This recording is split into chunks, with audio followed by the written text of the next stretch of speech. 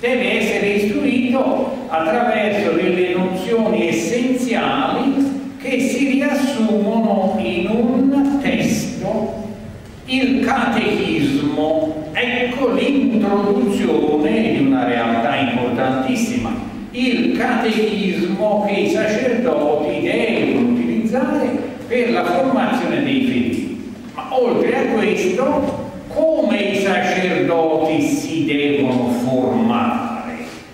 I sacerdoti devono seguire un corso regolare di studi nei seminari. Il seminario nasce con il Concilio di Trento. Qual è uno dei cardini che la nuova Chiesa cerca di ribadire?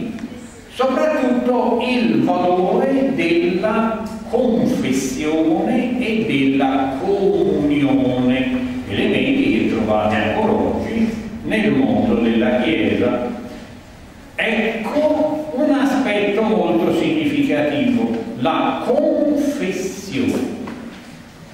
Ma un sacerdote confessa, un sacerdote ascolta, chiede notizie sui peccati.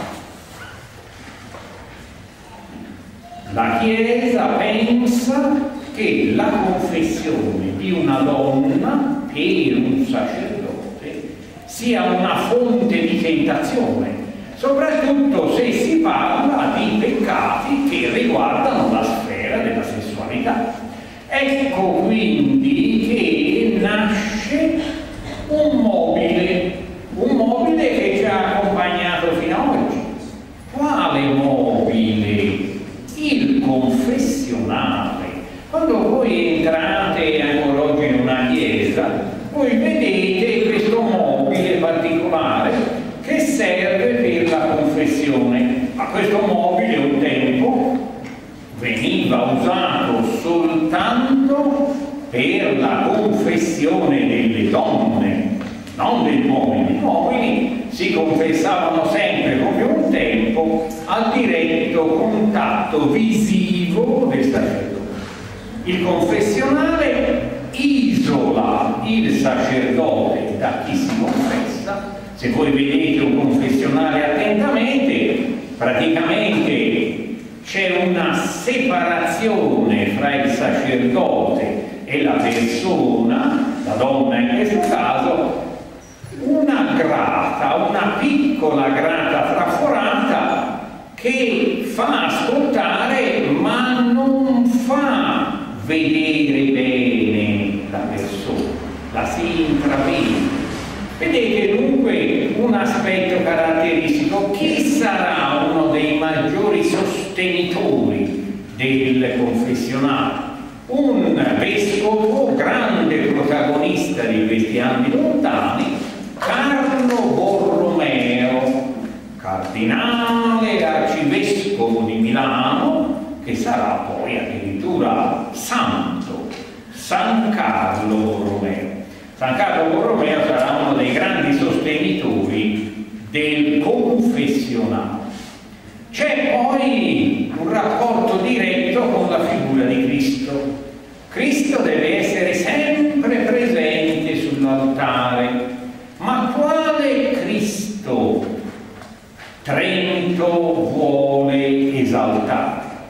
Il massimo interprete di questo spirito nuovo è Michelangelo Bonarroti, che delinea un Cristo in un disegno per Vittoria Colonna che sarà il modello esemplare. Quale Cristo disegna Michelangelo?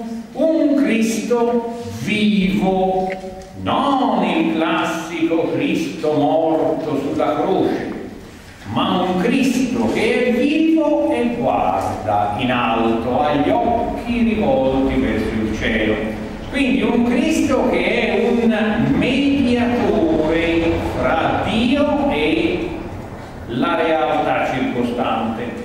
Questo modello del Cristo vivo sarà uno dei modelli che trionferanno in questo momento. E come si chiama quest'epoca di profonde trasformazioni nel mondo della Chiesa, ma anche nella società, perché la Chiesa è uno degli elementi della società in questo momento. I cattolici parlano di riforma cattolica, la riforma protestante, la riforma cattolica. Altri studiosi parlano invece di controriforma, cioè la riforma protestante, l'opposizione alla riforma protestante. Quindi l'età della controriforma. Ma Trento stabilisce un'altra cosa interessantissima, il coinvolgimento dei fedeli nella vita delle parrocchie ad alto e basso livello. Ad alto livello il coinvolgimento è dato attraverso la realizzazione di altari, cappelle. Le famiglie più importanti di ogni parrocchia hanno la possibilità di avere un proprio altare, una propria cappella per distinguersi all'interno della parrocchia. E noi grazie a questo abbiamo delle testimonianze eccezionali, perché se voi entrate in qualunque parrocchia del passato, voi vedete una serie di cappelle, una serie di altari, e questi altari, queste cappelle come sono? Spesso sono decorate, dipinte, contengono sculture, contengono quadri. Le grandi famiglie facevano a gara a decorare le proprie cappelle per mostrare al pubblico dei fedeli non tanto la loro devozione quanto il loro livello economico, ma anche la scelta di gusto. Questo ha trasformato le chiese dalla seconda metà del Cinquecento in vere e proprie gallerie di opere d'arte, proprio perché questo dettato della controriforma o riforma cattolica ha stimolato enormemente la committenza artistica. E i fedeli di più basso livello che non avevano il denaro per una cappella avevano una sede ciascuna parrocchia, la cosiddetta compagnia. In alcune parrocchie si ricorda ancora la stanza della compagnia. Erano compagnie eh, del Santissimo Sacramento o di santi dove i fedeli di più basso livello si riunivano, si aiutavano reciprocamente, pregavano ed erano, per così dire, coordinati dai vari sacerdoti. Quindi noi cosa vediamo? Vediamo una profonda trasformazione della società nel mondo cattolico romano. La controriforma si manifesta in modo eclatante e emergono nuovi ordini. Uno l'abbiamo già visto, la compagnia di Gesù con Ignazio di Loyola. C'è poi un altro ordine interessante legato a un santo fiorentino, Filippo Neri. Filippo Neri ha lasciato però Firenze e è andato a Roma e nella chiesa di Santa Maria in Vallicella ha creato l'oratorio. Filippo Neri è un santo molto interessante, è un uomo che vuole vivere la spiritualità con gioia, senza sofferenze, senza dolori. Era allora molto diffusa la pratica dei cilizi, cioè di quelle cinture di spine che si dovevano indossare per soffrire, per provare dolore, imitando Gesù Cristo. Chi chiedeva di Poneri se doveva indossare il cilizio Filippo Neri diceva certamente che si deve indossare sopra il vestito, in modo che non facesse nulla sostanzialmente. Filippo Neri era famoso per le sue confessioni e per le sue penitenze. Una volta confessò una donna che era nota per le sue maldicenze, diceva male di tutti, diffondeva rancori, provocava litigi. Capitò sotto le mani di Filippo Neri, si confessò e gli dette lui una penitenza esemplare che lasciò però tutti sorpresi. Doveva prendere un pollo morto, spennarlo per la strada e quando lo avesse spennato tutto doveva tornare indietro e raccattare tutte le penne come le parole che lei aveva sparso al re. Vedete? quindi un santo particolare. E Filippo Neri è il fondatore dei Filippini che ancora oggi esistono. E i Filippini di che cosa si occupavano? di educazione elementare cioè si cerca di istruire i bambini come i gesuiti istruivano chi aveva necessità di accedere alla scuola superiore. C'è però un punto molto importante, eh, la controriforma ribadisce il controllo della stampa, il controllo della circolazione dei libri, noi abbiamo visto le reazioni che questo suscitò in un grande centro tipografico come Venezia, bruciare i libri, impedire il commercio dei libri. Quindi ci furono molte pressioni, molte pressioni sul papato per attenuare quell'indice che era stato pubblicato nel 1559 da Paolo quarto carafa. Il primo indice è il peggiore, cioè quello più chiuso, dove nessun libro si salvava. I libri all'indice dovevano essere bruciati. Fra questi libri, un libro che niente arriva di teologico, il Decamerone di Boccaccio. Perché il Decamerone di Boccaccio era finito all'indice?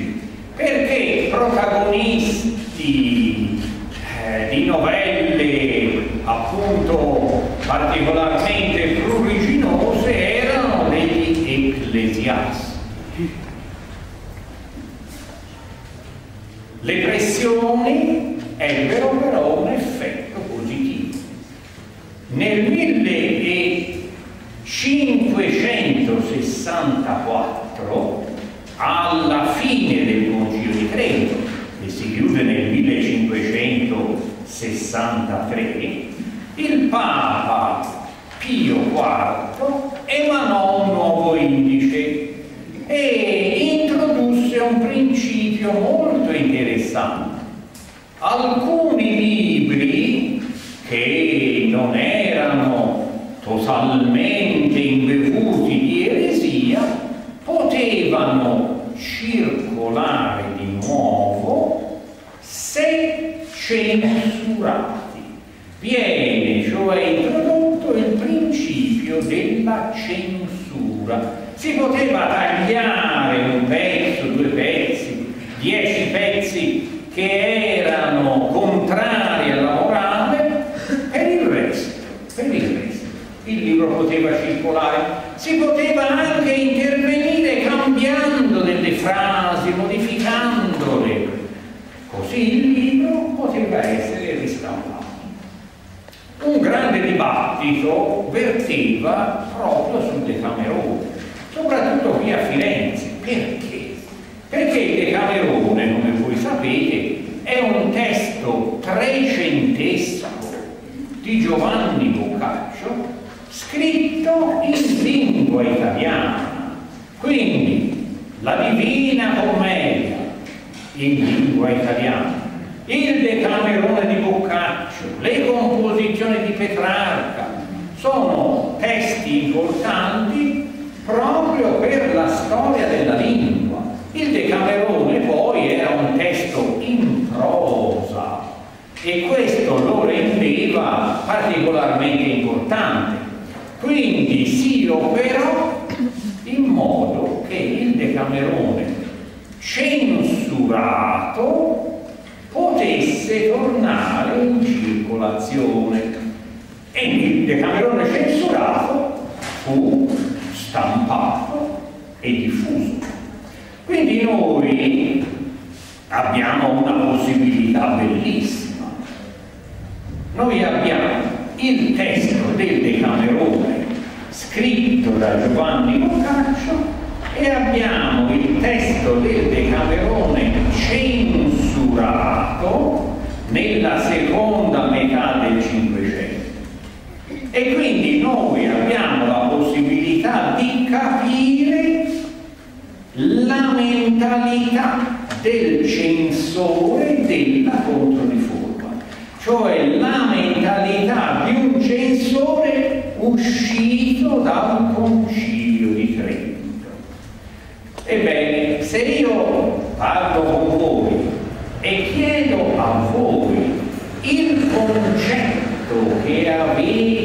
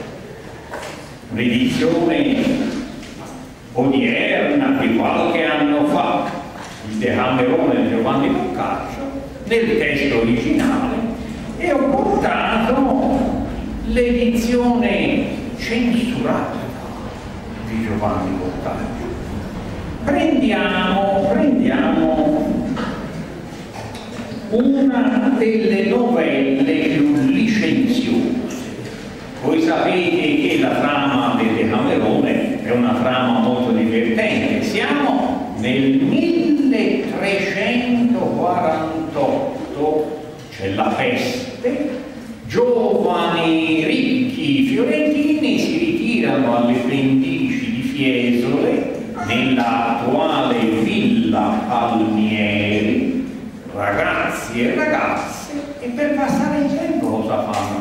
Si raccontano contano velle e non velle perché non possono uscire, è pericoloso, meglio sta chiuso. Hanno la possibilità di avere bellissimi spazi, giardini, servitori, di mangiare ciò che desiderano. Per passare il tempo si raccontano delle storie e naturalmente le storie più richieste, più divertenti sono quelle più licenzio, come il tempo ci insegna una delle novelle più licenziose.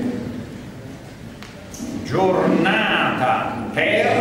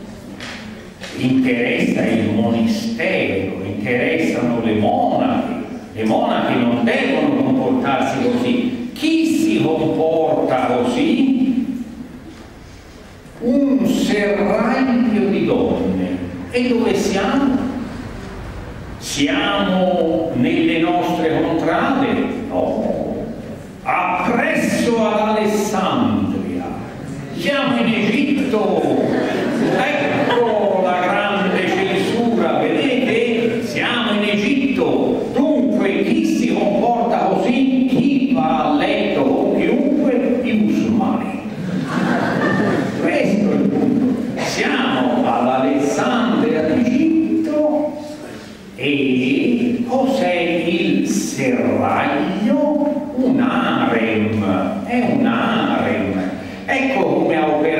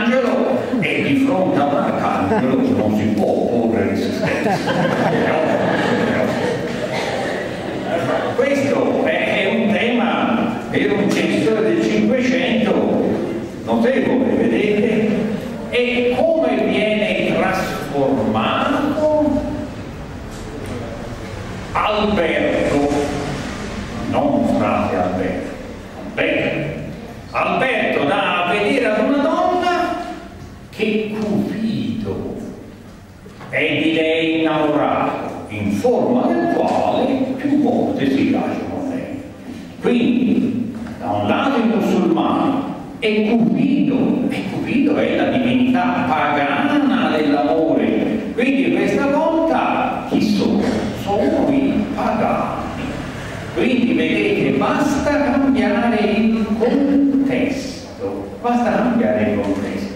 Con questi accorgimenti il Decamerone fu ripubblicato e quindi il Decamerone con queste censure è arrivato praticamente fino al congresso di Vienna 1814-15 quando la morale ricambia ancora una volta e questo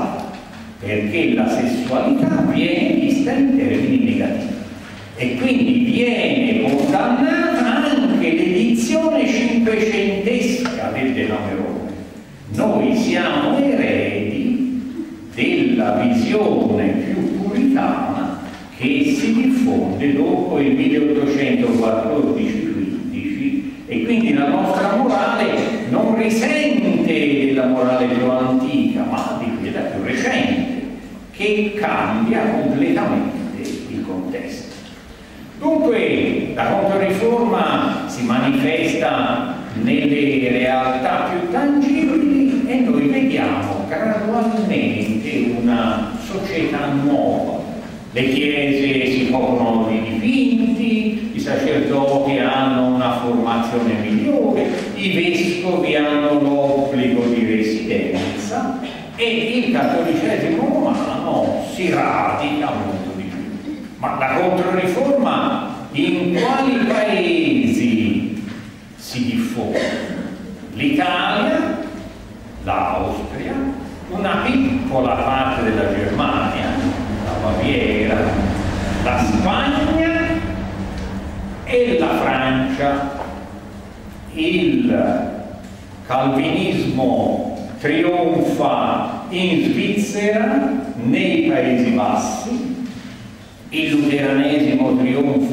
in Germania.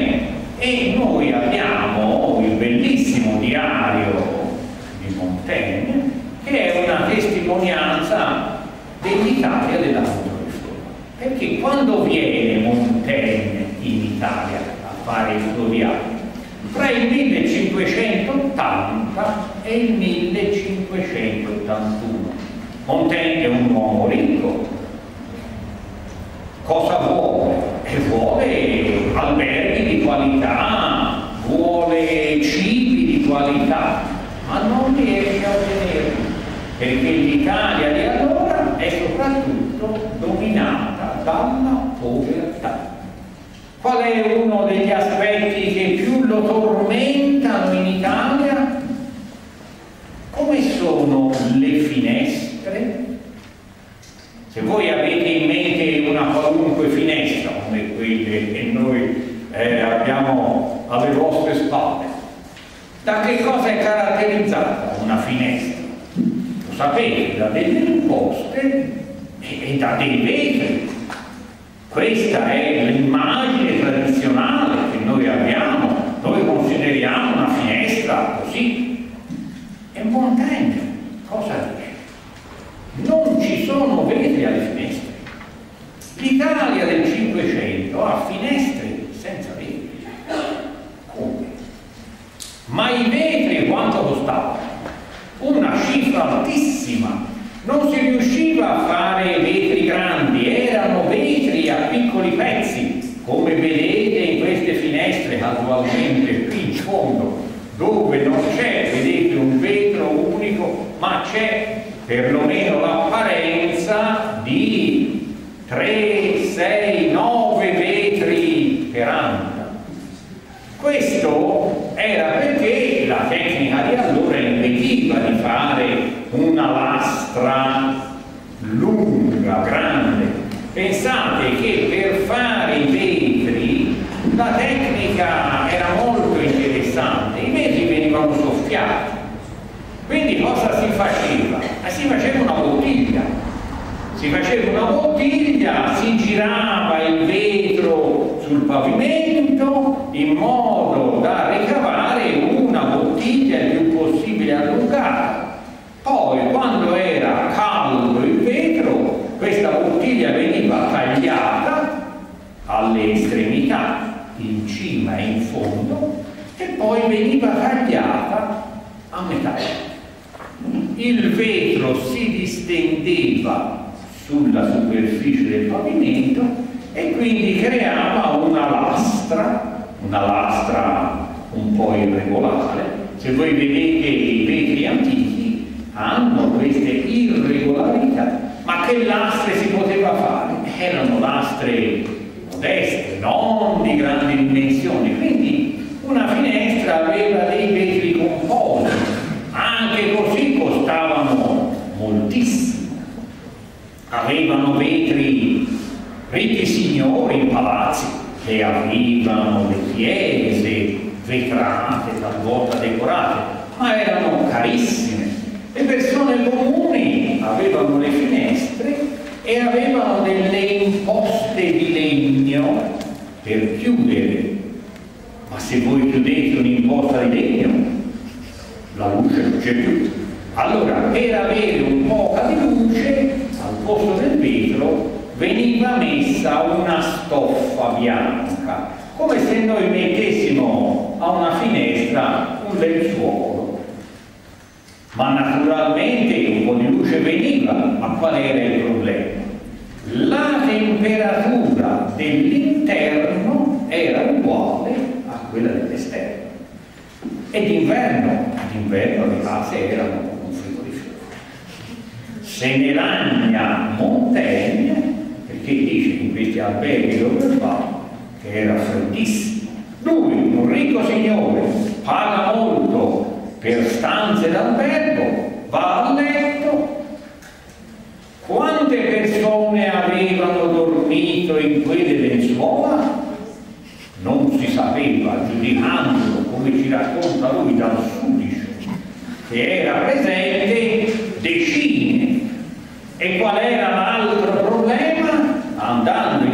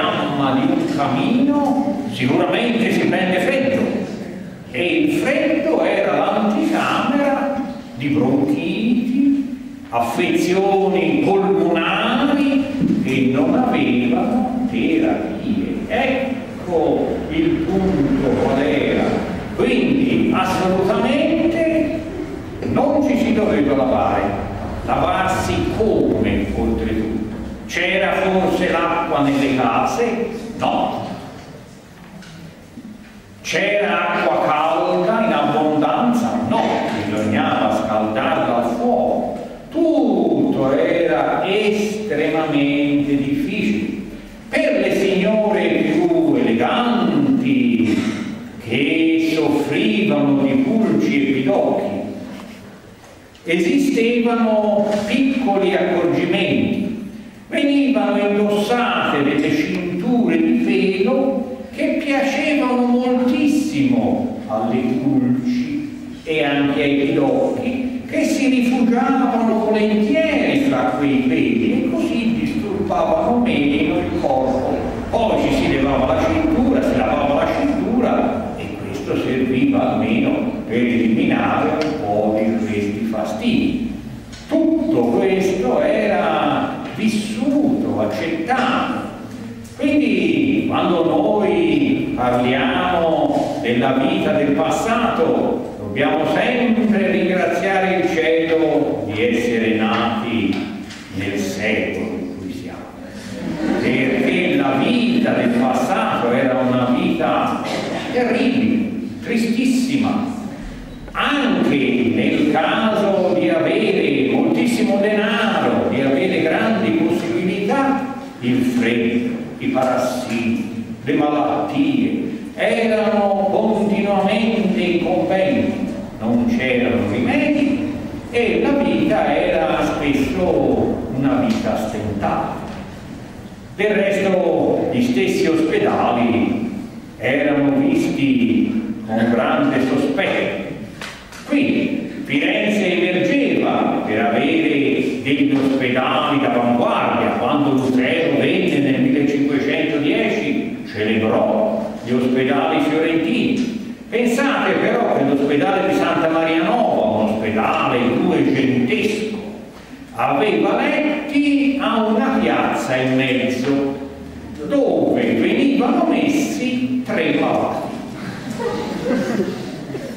per risparmiare spazio venivano messi due malati come quando letto il terzo veniva messo fra i piedi in modo che avesse i piedi sul viso degli altri uomini e potesse entrare meglio nel letto. Naturalmente i tre malati avevano malattie diverse per cui un soggiorno all'ospedale era visto come l'anticamera di patologie diffuse perché uno entrava in ospedale e non sapevo come ne sarebbe uscito. Vedete? E questo era poi il vero grande problema.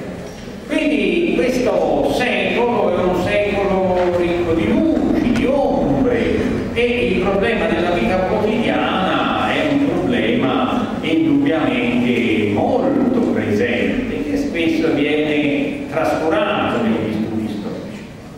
Quando, quando le cose cominciano a cambiare? Questo panorama è un panorama fosco, chiusura culturale, controllo dei libri, quando le cose sembrano destinate a una oscurità totale, ecco una nuova luce che si apre. Questa nuova luce è legata a un grande scienziato, a un grande pensatore che nel 1610, vedete siamo ormai arrivati all'inizio del 600, fa una scoperta eccezionale. Voi tutti lo conoscete, Galileo Galileo. Galileo vive a cavallo tra il 500 e il 600, si è formato a Pisa, all'Università di Pisa, e è professore all'Università di Padova dove insegna matematica, astronomia.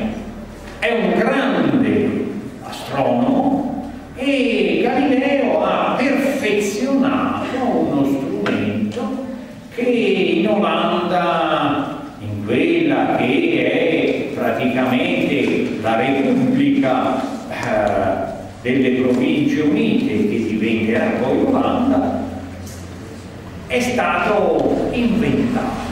Questo strumento è il canocchiale.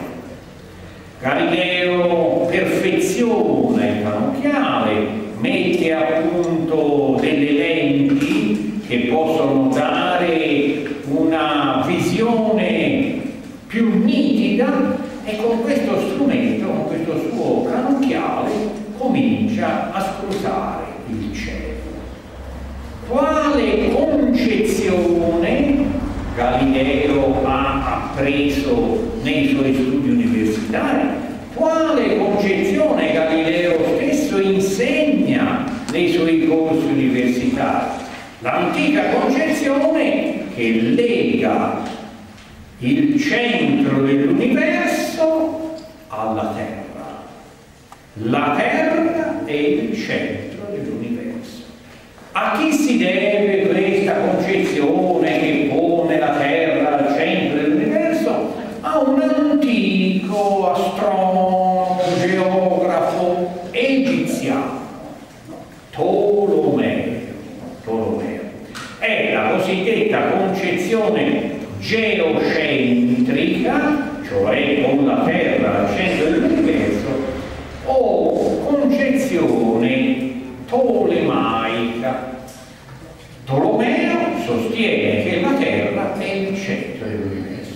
Galileo punta il suo canocchiale, sa che la Terra è il centro dell'universo e scruta uno dei pianeti, Giove, pianeta Giove. E cosa scopre attorno a Giove?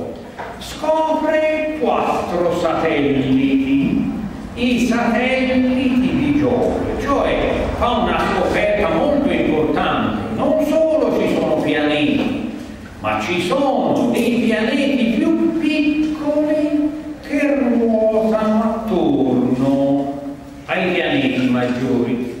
Lui pubblica questa notizia, questa scoperta nel 1610 e questa opera di Galileo è un'opera destinata ad avere un successo enorme.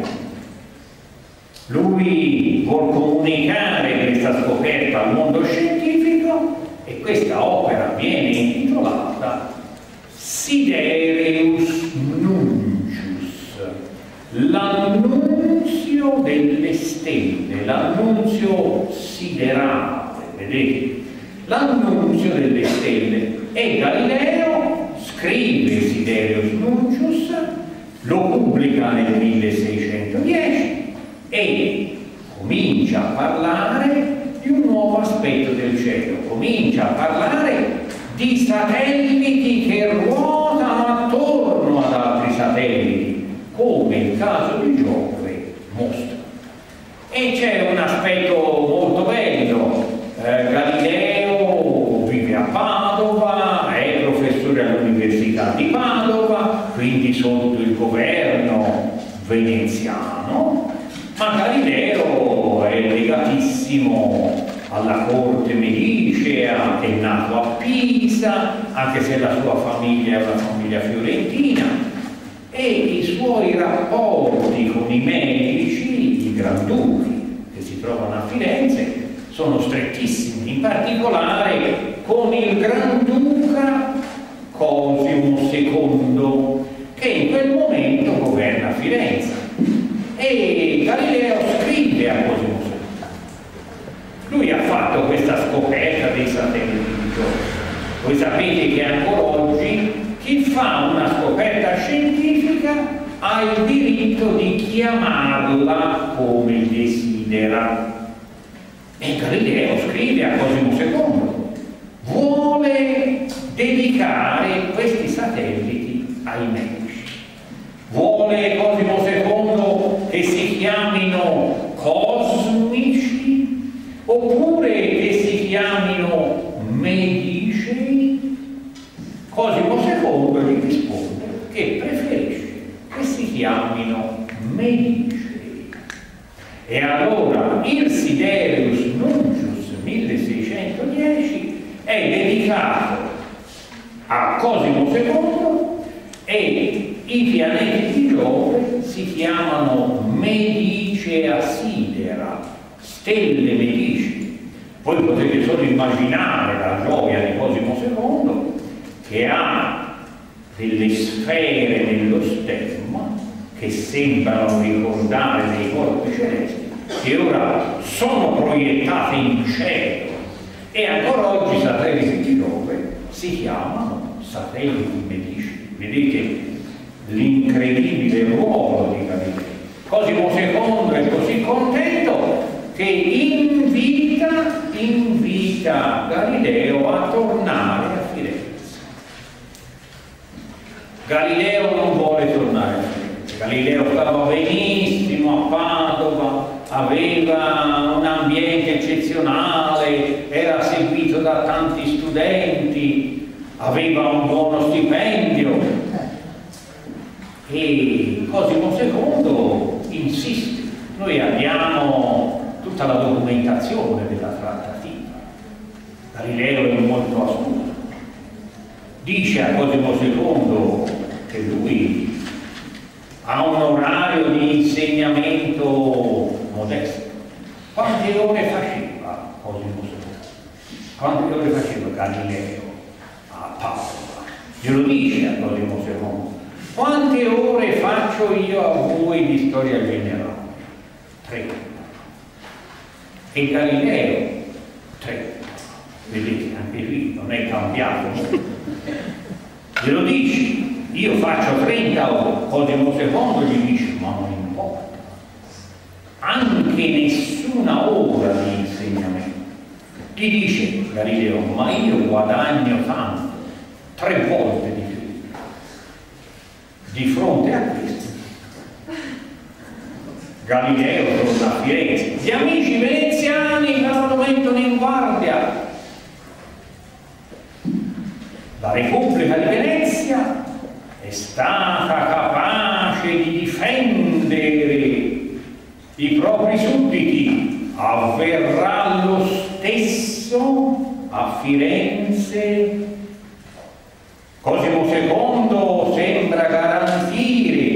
Galileo.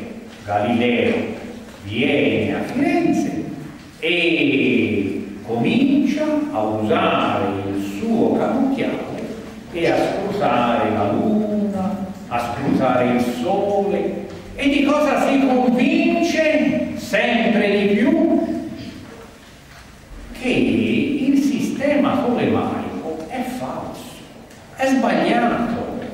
Non è la Terra al centro dell'universo, è il Sole, come aveva sostenuto un altro astronomo, Niccolò Copernico. Galileo comincia a sostenere che Copernico ha ragione. Qui a Firenze queste tesi, la voce che circola che Galileo sostiene Copernico arriva ai custodi più intransigenti della ortodossia, della riforma cattolica, della controriforma. E chi sono i più gelosi custodi? Sono i domenicani di Santa Maria Novella. Se voi andate nel chiostro verde di Santa Maria Novella si apre lì il grande cappellone degli spagnoli dove trovate un uh, interessantissimo affresco di Andrea da Firenze dove compaiono i dominicanes. I domenicani, i domenicani, chi sono? Domini canes, i cani di Dio, i cani di Dio. E che fanno i cani con i pastori? Custodiscono il gregge delle pecore e chi azzannano i lupi. Chi sono i lupi? Gli eretici. Quindi i dominicanes, i cani di Dio, attaccano gli eretici. Quando si diffonde la voce che Galileo, matematico e filosofo del Gran Duca, sostiene l'ipotesi di Copernico, due domenicani di San Maria Novella, il padre Caccini e il padre Lorini, il padre Caccini e il padre Lorini denunciano Galileo alla Inquisizione, cioè a quel tribunale che aveva il compito di verificare l'ortodossia. Galileo era persona sospetta. Questi domenicani lo affermano, è sempre a scrutare il cielo. Cosimo II si trova in grande difficoltà. Una convocazione presso il Tribunale dell'Inquisizione era sempre pericolosa e noi vediamo Galileo costretto andare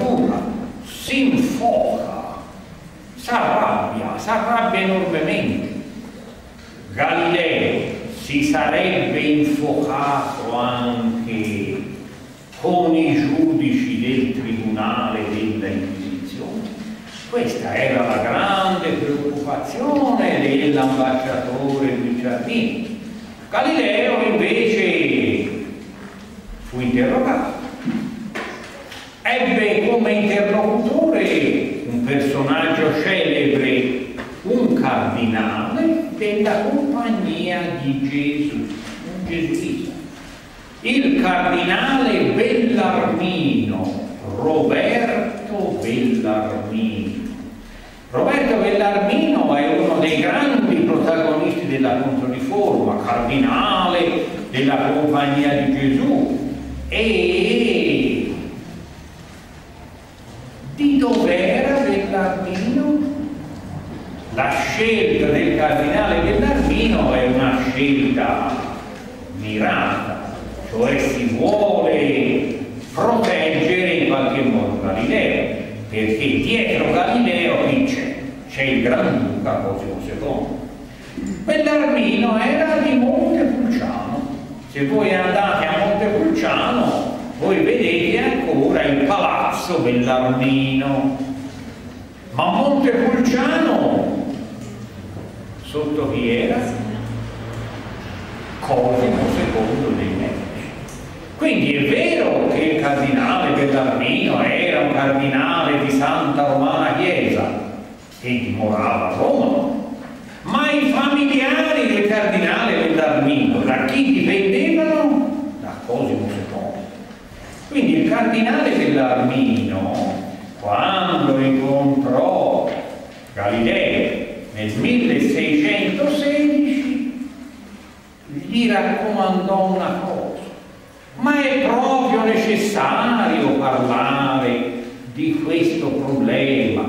Questo è un problema matematico che può essere affrontato solo da studiosi, meno se ne parla meglio è, soprattutto non deve essere divulgato. Ci sono prove certe che il Sole è il centro dell'universo? Galileo gli disse prove certe, non ce ne sono. A Galileo fu molto astuto, disse a Bellarmino, è una ipotesi matematica. Ma come ipotesi matematica posso io parlarne con studiosi? Il cardinale Bellarmino gli disse sì, certamente, come ipotesi matematica. E Galileo fu audacissimo, disse al cardinale Bellarmino, me lo può mettere per iscritto? E il cardinale Bellarmino gli disse, certamente, e gli mise per iscritto che come ipotesi matematica si poteva parlare di questa questione.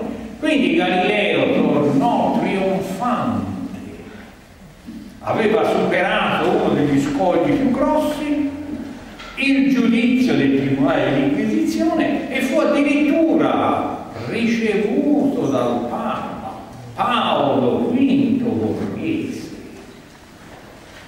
Questo è un evento incredibile, cioè il Papa stesso del momento, Paolo Borghese, volle conoscere Galileo e Paolo V Borghese è il Papa che ha segnato la storia del monumento più celebre del cattolicesimo romano, San Pietro. Quando voi andate a Roma e vedete la facciata di San Pietro realizzata dall'architetto moderno, cosa trovate scritto sul frontone di questa sorta di tempio che il moderno ha realizzato? ispirandosi al mondo della classicità. Paulus Quintus Burgesius, cioè Paolo V Borghese è il Papa della facciata di San Pietro e è il Papa che riceve Galileo. Galileo torna trionfante, ma la situazione presto degenera perché il suo grande protettore è gravemente malato. Cosimo II ha una gravissima malattia, una malattia che ha mietuto vittime a non finire, fino ad anni a noi vicini, sostanzialmente fino al 1945, quando è arrivata la medicina. Questa malattia si chiama tubercolosi. Nel passato veniva spesso chiamata tisi.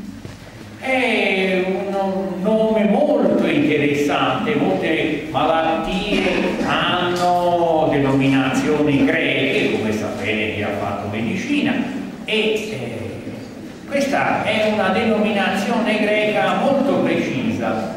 Qual è uno degli aspetti più tristi di questa malattia? Quando eh, la tubercolosi attacca il polmone, viene facilmente da sputare e nella fase più grave de della malattia si sputa sangue. Ma come si dice sputare in greco? Ha fatto greco ricorda che ci sono delle espressioni che ricordano nel suono l'azione che viene fatta. In greco vengono dette onomatopeiche, onomatopeiche. E come si dice sputare? Picciù. Sentite, picciù, è uno Quindi, tisis. E cos'è la tisi? È la malattia dello sputo.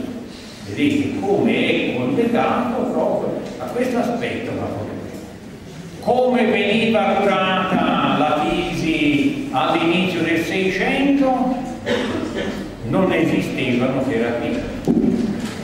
Di solito le terapie più comuni consistevano in salassi, consistevano in purghe, ora salassare un malato di tubercolosi, voi potete subito capire l'anticamera del decesso. E il povero Cosimo II inizialmente fu curato così. I medici però riconobbero la malattia polmonare, dissero che non c'era più niente da fare, si poteva solo sperare in un miracolo. Il corpo del Granduca fu quindi unto con un olio miracoloso, l'olio della lampada di San Nicola di Bari, che si riteneva potentissimo, senza insultare. Fu trovato il latte della Madonna e beve il latte della Madonna. Fu coperto il suo corpo di reliquie santi, sperando che questi santi potessero agire, ma anche questo non serviva. Allora si decise l'ultima cosa. Furono prese alcune reliquie, una reliquia della croce, una reliquia San Carlo, furono pestate, messe in un'ostia e fatte inghiottire al grande morì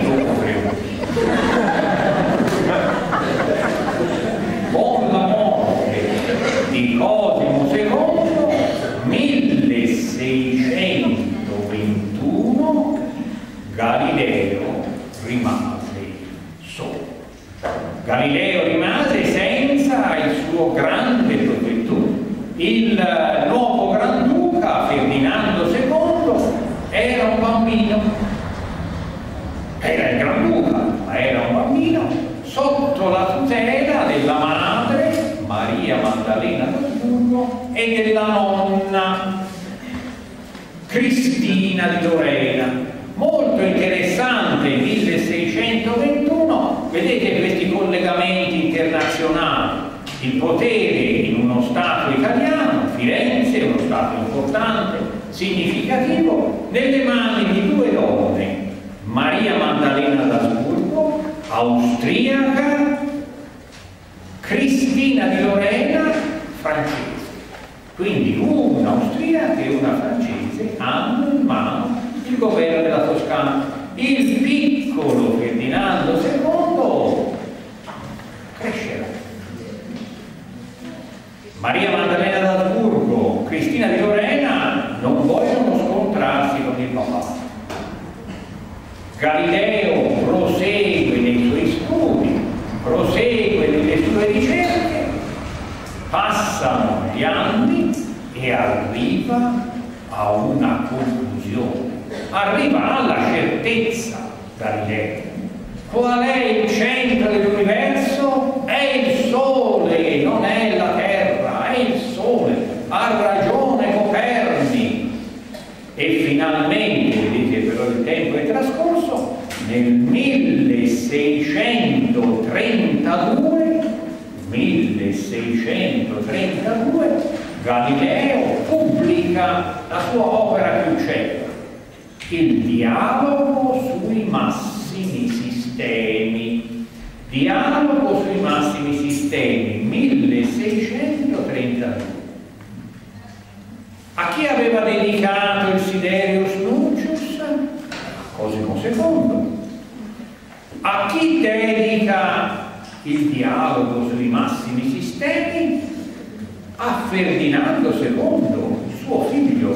Quindi i medici sono legatissimi a Galileo Galilei, sono legatissimi a questo momento di grande apertura della scienza. E nel 1632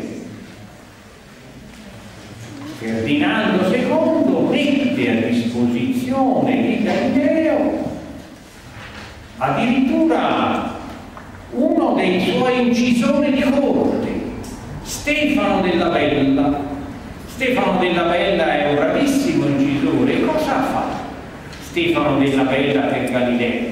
Fa il frontespizio, il frontespizio del dialogo sui massimi sistemi. È un dialogo a chi si ispira dunque sotto il profilo filosofico Galileo, chi ha scritto celebri dialoghi? Platone.